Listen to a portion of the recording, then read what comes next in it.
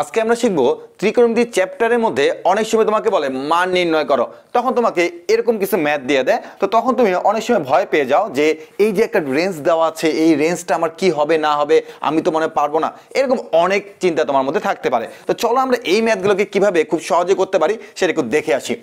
প্রথমে দেখো যে তোমাকে এখানে বলা আছে যে সাইন থেটা ইকুয়াল টু হচ্ছে থ্রি বাই ফাইভ ওকে ভাইয়া, ভালো কথা। কারণ আমরা কিন্তু জানি যে সাইন থেটা ইকুয়াল হচ্ছে লম্ব বাই অতিভুজ জি ভাইয়া এখন এই যে আমার সাইন থেটা ইকুয়াল লম্ব বাই অতিভুজ, এটা আমি ইচ্ছা করলে যে কোনো জায়গায় একটা চিত্র অঙ্কন করতে পারি। তো আমি ধরেন আমি এখানে একটা চিত্র অঙ্কন করলাম। সেটা, এটা হচ্ছে আমার থ্রি আর এটা হচ্ছে আমার কত কত ফাইভ এখন তারা আমাকে এখানে একটা রেঞ্জ দিয়ে দিছে।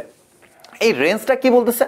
যে ভাইয়া থেটা হচ্ছে আপনার নব্বই ডিগ্রি থেকে বড়, কিন্তু আবার একশো আশি ডিগ্রি থেকে ছোট। অর্থাৎ পাই বাই টু মানে নাইনটি ডিগ্রি আর পাই মানে হচ্ছে একশো আশি ডিগ্রি তাহলে অ্যাকচুয়ালি এটা কত নাম্বার চতুর্ভাগ?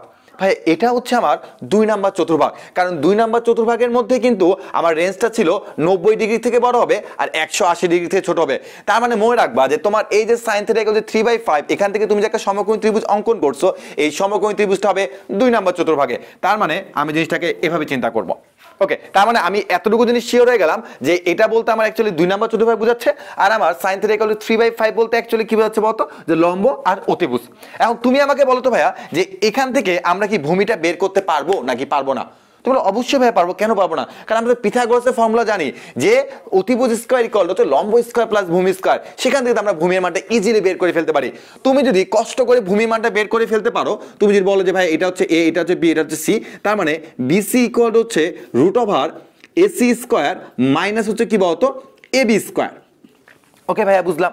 এখন তুমি সুন্দর করে মানটা যদি বসিয়ে দাও, তার মানে হচ্ছে ফাইভ স্কোয়ার মাইনাস হচ্ছে থ্রি স্কোয়ার তার মানে এখানে তুমি ক্যালকুলেশন করো টোয়েন্টি ফাইভ মাইনাস হচ্ছে নাইন তার মানে হচ্ছে রুট ওভার সিক্সটিন আর রুট ওভার সিক্সটিন মানে কথা বলতো ফোর হবে। তার মানে ভাইয়া, আমার বিসি আমি পেয়ে গেলাম কত বলতো? ফোর পেয়ে গেলাম।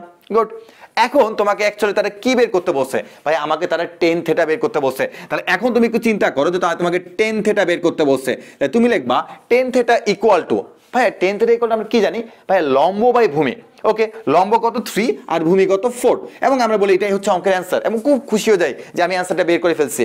কিন্তু ভাইয়া অ্যান্সার তোমার এখনও হয়নি। ভাই, আমি এখানে কি বাদ দিচ্ছি তুমি ভাই, এখানে অনুপাতটা লিখেছো, ঠিক আছে। কিন্তু ভাই, তার সামনে চিহ্নটা প্লাস হবে নাকি মাইনাস হবে সেটা তো তুমি লেখো নাই। ভাই, এখানে আসলে কি চিহ্ন হবে?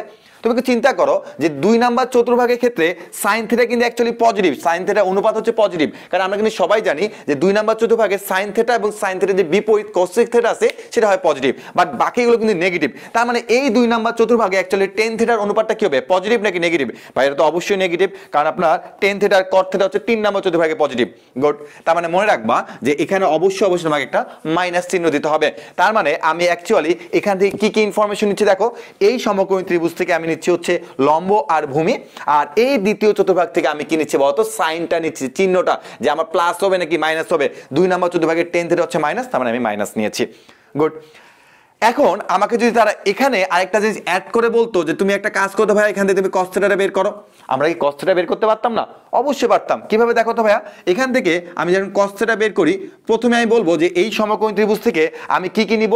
আমি নিব হচ্ছে এখান থেকে ভূমি আর অতিভুজ। তার মানে ভাইয়া ফোর বাই ফাইভ এরপরে আমি এখান থেকে চতুর্ভাগ থেকে নিব যে এই কস্টটা যদি আমি দুই নাম্বার চতুর্ভাগে চিন্তা করতাম, তাহলে সেটা পজিটিভ হবে নাকি নেগেটিভ হবে?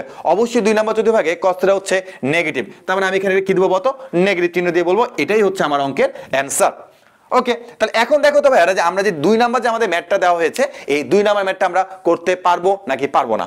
দুই নাম্বার ম্যাথের মধ্যে তোমাকে তারা যেটা দিয়েছে সেটা কি দেখো তো? যে tan theta equal to minus five by twelve এই মাইনাসটা দেওয়ার পর অনেকে ভয় পাওয়া যায় ভাইয়া মাইনাসটা আমি এখন ফাইভের সাথে দিব নাকি টুয়েলভের সাথে দিব? অ্যাকচুয়ালি এটা আমি কার সাথে দিব। আসলে ভাইয়া, এখানে তোমাকে মাইনাসটা নির্দেশ করতেছে যে এটা যে চতুর্ভাগে অবস্থান করবে, ওই চতুর্ভাগে টেন থেটার অনুপাতটা অবশ্যই অবশ্যই মাইনাস হবে। তার মানে এইটা তুমি এখন কোন চতুর্ভাগে করবা? তুমি বলে ভাইয়া, এটা তো দ্বিতীয় চতুর্ভাগে আপনার নেগেটিভ হতে পারে, আবার এটা চার নম্বর চতুর্ভাগে নেগেটিভ হতে পারে। কারণ টেন থেটারা দুই এবং চার দুইটা চতুর্ভাগে নেগেটিভ হয়ে থাকে।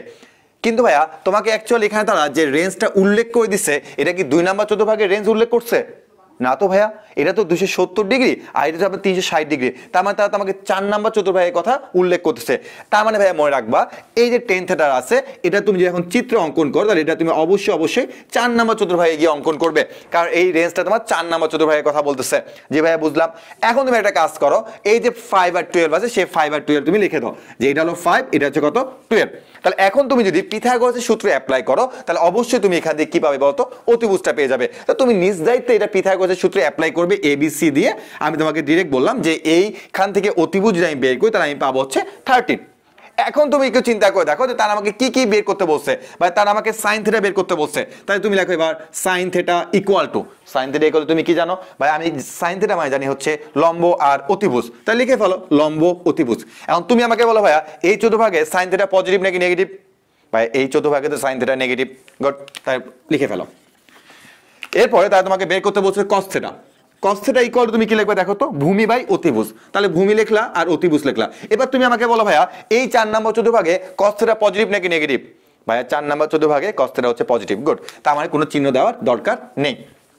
তার মানে আমরা আশা করি এতটুকু জিনিস বুঝতে পারছি যে এখানে এই মাইনাস বলতে অ্যাকচুয়ালি ফাইভের আগেও মাইনাস বোঝাচ্ছে না, এই মাইনাস বলতে অ্যাকচুয়ালি টুয়েলভের আগেও মাইনাস বোঝাচ্ছে না। এই মাইনাস বোঝাচ্ছে যে এই টেন থেটার অনুপাতটা হয় তোমার দ্বিতীয় চতুর্ভাগে থাকবে আর না হয় চতুর্থ চতুর্ভাগে থাকবে। যেহেতু তারা আমাকে রেঞ্জটা এখানে ফিক্সড করে দিয়েছে, তার মানে অবশ্যই অবশ্যই বোঝা যাচ্ছে যে এটা আমার চার নম্বর চতুর্ভাগে হবে। তাহলে আমি আশা রাখতে পারি তোমাদের যদি কখনো এরকম অনুপাত দিয়ে এবং একটা রেঞ্জ যদি ফিক্সড করে দেয়, সেখান থেকে তোমাদের যদি কখনো অন্য ত্রিকোণমিতি অনুপাতটা বের করতে বলে, তোমরা কিন্তু অবশ্যই বের করে ফেলবে।